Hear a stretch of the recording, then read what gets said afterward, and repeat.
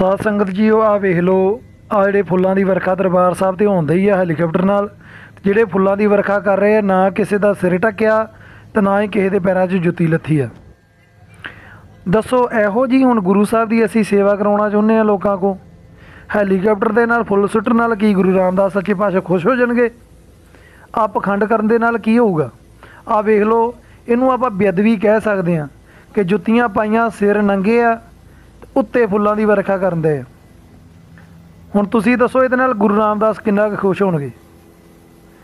ਇਹਨਾਂ ਲੋਕਾਂ ਨੇ ਬੇੜਾ ਗਰਕ ਕਰਤਾ, ਮੈਂ ਅੱਗੇ ਵੀ ਕਿਹਾ ਸੀ ਕਿ ਇਹ ਕੰਮ ਜਿਹੜੇ ਗਲਤ ਆ, ਇੱਕ ਵਾਰੀ ਅੱਗੇ ਵੀ ਇਦਾਂ ਹੋਇਆ ਸੀ, ਫੁੱਲਾਂ ਦੀ ਵਰਖਾ ਹੋਣੀ ਸੀ ਜਹਾਜ਼ ਦੇ ਨਾਲ, ਹੈਲੀਕਾਪਟਰ ਦੇ ਨਾਲ, ਗੁਰੂ ਸਾਹਿਬ ਦੇ ਚਾਲੇ ਪਾਉਣ ਦੀ, ਪਾਲਕੀ ਸਾਹਿਬ ਦੀ ਅਰਦਾਸ ਕਰਕੇ ਘੰਟਾ ਕੁ ਉਹਨੂੰ ਹੈਲੀਕਾਪਟਰ ਨੂੰ ਉਡੀਕਦੇ ਰਹੇ, ਤਾਂ ਕਿ ਹੈਲੀਕਾਪਟਰ ਆਵੇ ਤੇ ਫੁੱਲਾਂ ਦੀ ਵਰਖਾ ਕਰੇ।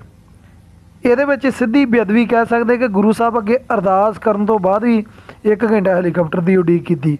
ਤੇ ਆ ਵੀ ਵੇਖ ਲਓ ਤੁਸੀਂ, ਹੁਣ ਜੁੱਤੀਆਂ ਸਾਰਿਆਂ ਨੇ ਪਾਈਆਂ ਜੇ, ਸਿਰ ਨੰਗੇ ਜੇ, ਤੇ ਇਹ ਫੁੱਲਾਂ ਦੀ ਵਰਖਾ ਕਰ ਰਹੇ ਜੇ ਗੁਰੂ ਸਾਹਿਬ ਤੇ। ਹੁਣ ਇਹਨੂੰ ਦੱਸੋ ਕੀ ਕਹੀਏ ਅਸੀਂ? ਇਹ ਤੁਸੀਂ ਹੁਣ ਫੈਸਲਾ ਕਰੋ ਸਾਧ ਸੰਗਤ, ਇਹ ਸਹੀ ਹੋ ਰਿਹਾ ਕਿ ਗਲਤ ਹੋ ਰਿਹਾ? ਵਾਹਿਗੁਰੂ ਜੀ ਕਾ ਖਾਲਸਾ, ਵਾਹਿਗੁਰੂ ਜੀ ਕੀ ਫਤਿਹ।